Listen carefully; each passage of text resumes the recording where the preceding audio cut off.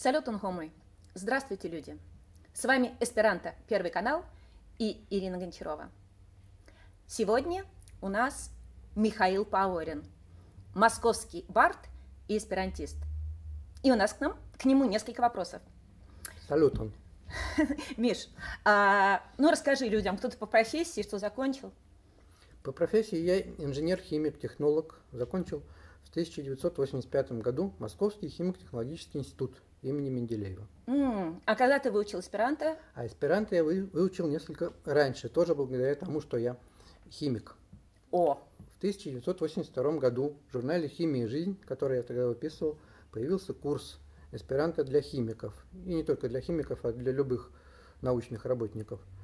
Поскольку я языками всегда почему-то интересовался, не знаю почему, естественно, меня сразу такой курс заинтересовал, и я решил просто ради спортивного интереса попытаться выучить этот необычный язык. и Курс- что же из этого получилось? Из этого получилось то, что я очень быстро одолел этот курс, потому что он был рассчитан на то, чтобы ученые могли бы быстро научиться читать тексты по специальности. И после этого я уже пошел в аспиранто-клуб, и там как-то быстро втянулся в эту жизнь, начал и, и- и учить песни на гитаре, начал слушать различные лекции, участвовать в клубной жизни. И где-то уже через полгода я поехал на первый свой слет, что называется, с погружением на 2-3 дня. И там я уже мог совершенно свободно, без проблем общаться, общаться на эсперанто. Мгм. Вот если мы заговорили уже о твоем участии в эсперанто-движении, то, может быть, мы и начнем с твоей первой песни, которая связана как-то с, именно с эсперанто-движением. Да, ну, свою первую песню, связанную с эсперанто движением, я написал в 86 году. У нас тогда в сентябре месяце в Ялте проходили встречи эсперантистов, которые назывались «Велура сезону», то есть «Бархатный сезон». Очень приятная была обстановка, хорошая погода в это время в Крыму. И вот я в первый раз в 86 году поехал на такую встречу и перед этой встречей успел написать песню, которая так и называлась «Велура сезону».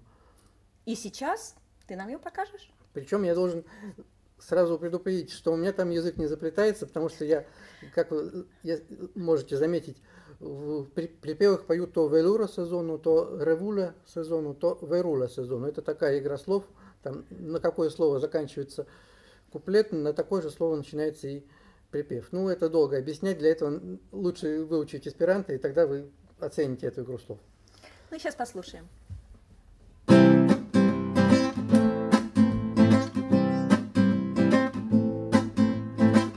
dar orice sumer Ninea diaua se sper. Gioira da traino, flugi la faino Importas alla caracelo Prin belega bluma bord La chitarra iam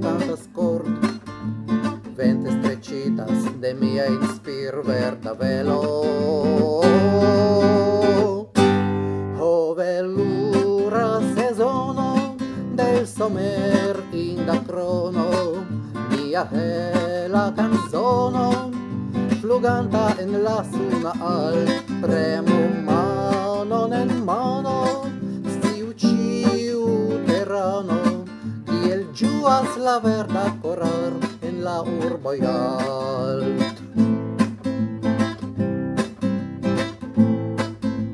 Fortas la amica bracum, Schwebas corretosa parfum, ciun con gioio, post longa voio, salutas la membroi de tero.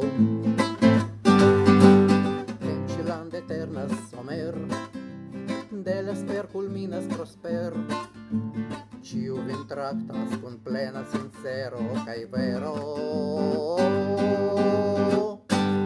Ho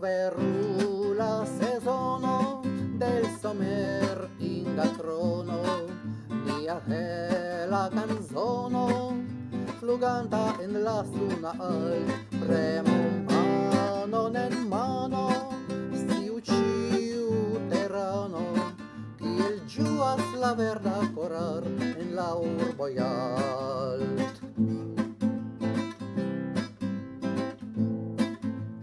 Pasos la fabel de la nim kiel for sonoras la rim kaj per flugilo kun trist kaj humilo adiaŭ al ni svingos mevo. Sed la menson ne kaptos plen sed ankoraŭ dum jara plen. Lulos la corojn del verda popol che la revo.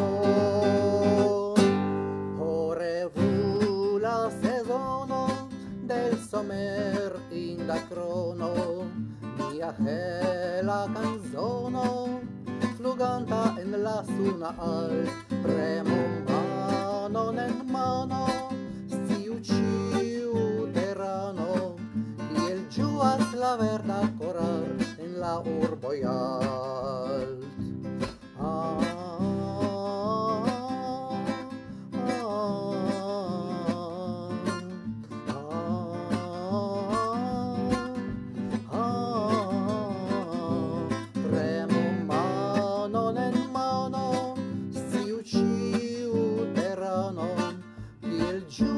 la verda coral en la urbo alt.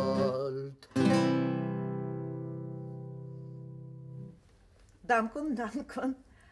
М, Что бы ты хотел пожелать нашим слушателям? Я бы хотел пожелать всем, чтобы они оценили красоту нашего языка эсперанто и учили его, потому что это точно пригодится. А ты еще придешь к нам в эфир? Еще приду. Песен у меня много. Это здорово. Данкон про le atento, данкон аль э, Микаэла, кай джис Здесь